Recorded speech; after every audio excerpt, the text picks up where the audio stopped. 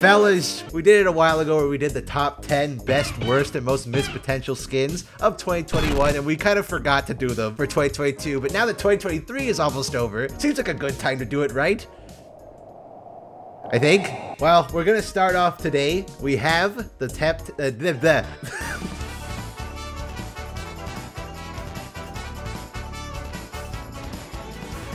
These lists are not necessarily in any specific order. Some I do think are worse or better than the others, but it's not really in any specific order. It's just a list of 10, all 2022 releases, so you won't see any what skins came out this year. Honorable mention number one. On PC, has Akshan gotten another skin since this? No. We already just got a skin line of champions in fancy tuxedos, and then you just did it for Akshan. The idea behind this skin is just what if character in fancy clothes. It's really fucking boring. Second honorable mention, we have Lunar Eclipse Senna. It's Blade. Why in the universe of knights. I think Lunar Eclipse Senna was the first new era of prestige skins. They changed it to like high fashion and that one, I'm not gonna count prestige skins on this list because that would be too easy. And final honorable mention we have is this is cheating because they're not bad. I think all of Spirit Blossom Wave 2 was mid. Now we can get on to the actual top 10. And granted, it's not in any particular order. Maybe as we get towards the top, they will get a bit more egregious, but my number 10 pick is Sea Dog Yasuo. Why?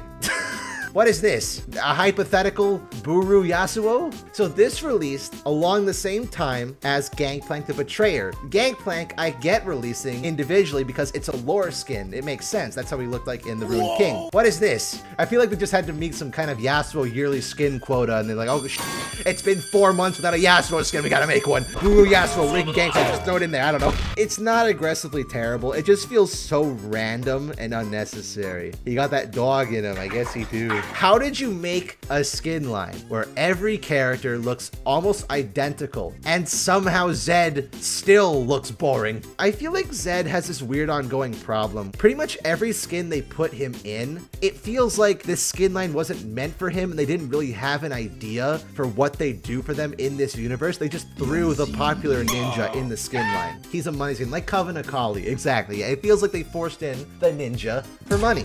Now moving on, I guarantee you at least half of you will forget this even happened. You guys remember this? This is Strike Commander Camille.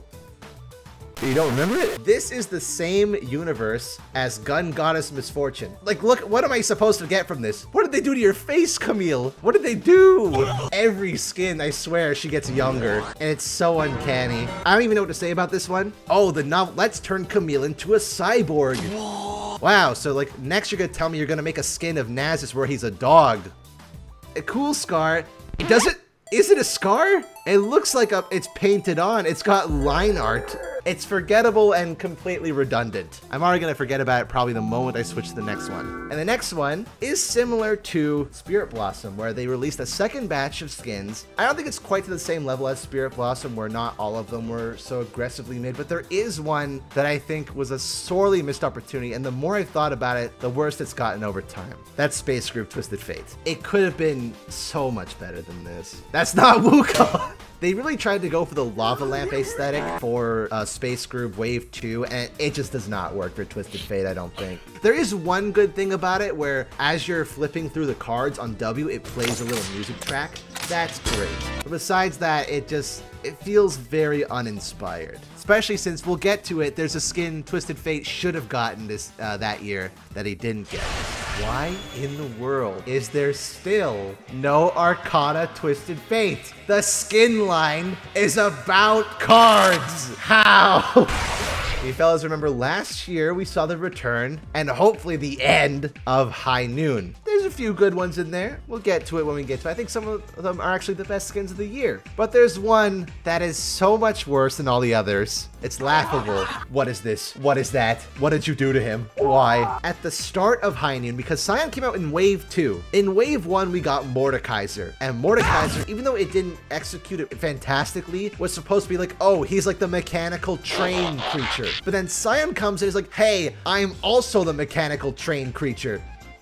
How? I don't like the automaton aesthetic they have for High Noon because like what about this reads as automaton? Nothing. I hope they don't do more stuff like this where they release like 10 skins for an event because half of them become completely unimportant and forgettable. Speaking of Star Guardian, that one had a lot and there definitely was a worse one there for me. And not even because the skin is bad. How could you do this to her? Right? You knew Star Guardian was going to be the biggest event of the year. You knew. Why would you release Nilah at the exact same time and then pretend like she's important that she's been there the whole time? No, you just released a new champion and didn't give her any breathing room at all. Poor Nilah, dude. She didn't get any time in the spotlight. Also, what is her familiar? Is this supposed to be Ashlash in this dimension? I'm cheating with number four. Rarely ever will a skin line release and all of them are duds all the Zenith games skins. Ugh.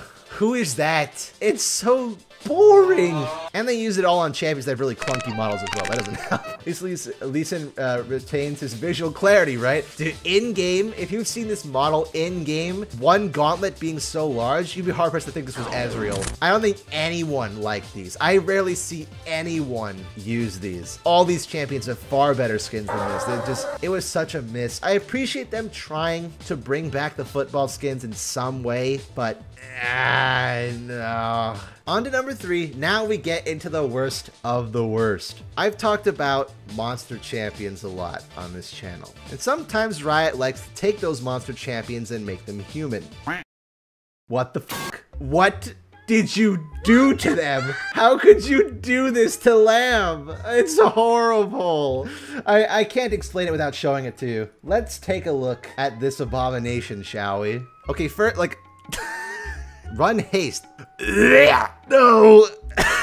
no. This is awful. It, yeah, burn it. Burn it in hell. This is terrible. Can I move on? Do I have to explain this one any further? I think I've explained myself well enough. The next one is a Sylas skin, because Sylas got two. I think Battle Wolf is worse. Sylas, up until Battle Wolf, had been shirtless in every skin he was in. Open jacket, completely shirtless, gorilla, but up till this point, it was assumed, I guess this is an essential part of Sylas's design that no matter what you do, you have to make him shirtless. And for a skin line, like the battle bunnies and stuff, the whole concept of this skin line is supposed to be dumb, corny, stupid, huh? sexy skins. So in the one skin where making Sylas shirtless would actually make sense, that's the skin line they give him a shirt? What? The other Battle Bunny or whatever they're called, Anima Squad, they're fine. Sylas is just like, okay, th this is just weird. I may have skipped out on Ashen Knight. Sylas. you already know where I'm going with this. The worst skin of 2022 belongs to fucking Ashen Knight Pantheon. With a P. We went from Pyke to Pantheon um, actually, Ashen Conqueror. Yes, they renamed it to Ashen Conqueror because people were like, well, he doesn't look like a knight. He has no armor. Well, we hear your feedback, so we changed his name. That's not what we were complaining about.